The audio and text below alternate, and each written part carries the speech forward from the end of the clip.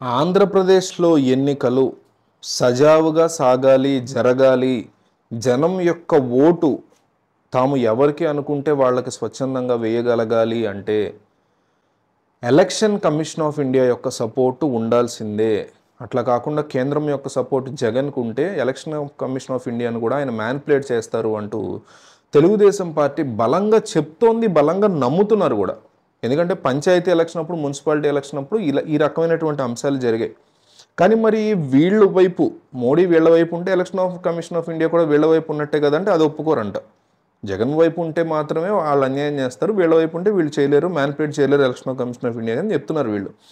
అంటే చంద్రబాబు అయినా జగన్మోహన్ రెడ్డి అయినా ఎవరు అధికారంలో ఉన్నా ఎవరి వెనక election of commission of India ఉన్నా ఎవరి వెనక కేంద్ర ప్రభుత్వం ఉన్నా వ్యవస్థల్ని ఎంత అద్భుతంగా అధ్వానంగా దిగజార్చేశారు వీళ్ళు అని చెప్పడానికి ప్రధానమైనటువంటి ఉదాహరణ ఇది. Election of commission of India గురించి ఎందుకు చెప్తున్నా అంటే చంద్రబాబు నాయుడు రోజు కేంద్రంతో సఖ్యతగా ఉండి పొత్తులో పొత్తు కోసం ఎగబడ్డానికి ఇన్నాళ్ళు జగన్మోహన్ రెడ్డి కేంద్రంతో పొత్తులో లేకపోయినా అనఫీషియల్ పొత్తును మెయింటైన్ చేయడానికి ఉన్న ప్రధాన కారణాల్లో ఒకటి వాళ్ళ కేసులో ఏపీకి సంబంధించి అప్పులో ఈ రెండు పక్కన పెడితే కూడా ఉన్న ప్రధాన కారణాల్లో ఒకటి election of commission of India యొక్క ఎలక్షన్ కమిషన్ ఆఫ్ ఇండియా యొక్క సపోర్ట్ ఎందుకంటే కేంద్ర ప్రభుత్వం వెనక ఎలక్షన్ కమిషన్ ఆఫ్ ఇండియా ఉంటుంది అనేది చాలా గట్టిగా వీళ్ళు నమ్ముతున్నారు. అదే జరుగుతోంది కూడా దేశంలో.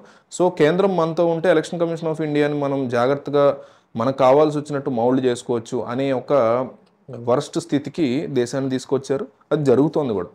సో ఇప్పుడు పొత్తుని ఓకే చేసేసుకున్నారు.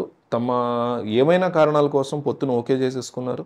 ఆంధ్రప్రదేశ్లో తెలుగుదేశం పార్టీ కొన్ని సీట్లని బీజేపీకి ఇవ్వబోతోంది దాదాపు ఇరవై నాలుగు ఎమ్మెల్యేలు జనసేనకి ఆరుగురు ఎమ్మెల్యేలు బీజేపీకి. అంటే తమ మిత్రపక్షాలకి నూట డెబ్బై ఐదులో ముప్పై సీట్లను త్యాగం చేసింది తెలుగుదేశం పార్టీ అని చెప్పుకోవాలి.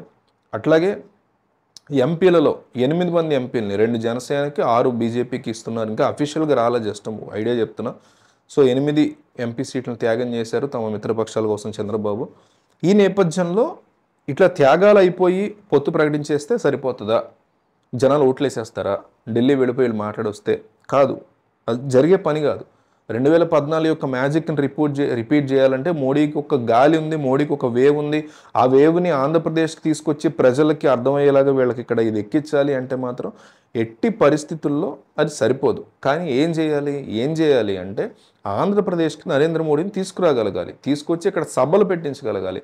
ఆ సభల విషయంలో మోడీ కంక్లూజన్ ఇచ్చారని చంద్రబాబు వెళ్ళిన వెంటనే కొన్ని రోజుల్లోనే ఏపీలో ఒక భారీ బహిరంగ సభ ఏర్పాటు చేసి అలయన్స్ని కూటమిని అఫీషియల్గా ప్రకటించేసిన తర్వాత మళ్ళీ ఆ యొక్క సభకి చంద్ర మోడీని ఆహ్వానించి మోడీ పవన్ కళ్యాణ్ చంద్రబాబు ఒకే స్టేజ్ మీద ఇటు మోడీ ఇటు పవన్ కళ్యాణ్ మధ్యలో చంద్రబాబు నిలబడి రెండు వేల పద్నాలుగులో ఎట్లా అయితే ఆ రకమైనటువంటి సభలు నిర్వహించి సక్సెస్ చేసుకున్నారో ఇప్పుడు కూడా ఆ రకంగా ముందుకెళ్ళాలి అనే దిశగా ప్లాన్స్ వేస్తున్నారని తెలుస్తుంది. సో ఈ సభలు ఈ సమావేశాలు ఇవన్నీ పక్కన పెట్టండి. ఏపీ ప్రజల నాడి ఎట్లా ఉందో మీరు చెప్పండి కామెంట్లో. ఓట్ ఫర్ జగన్ లేదా ఓట్ ఫర్ చంద్రబాబు? ఏపీ ప్రజలు ఎవరికి ఓటైపోతున్నారు అనేది మీ కామెంట్ చూస్తే అర్థం కావాలి. కాబట్టి వీడియో చూసి వెళ్ళకుండా కంపల్సరీ కామెంట్స్లో తెలియజేయండి. ఓట్ ఫర్ జగన్ లేదా ఓట్ ఫర్ చంద్రబాబు అని మీ యొక్క అభిప్రాయాన్ని కామెంట్లో చెప్పండి.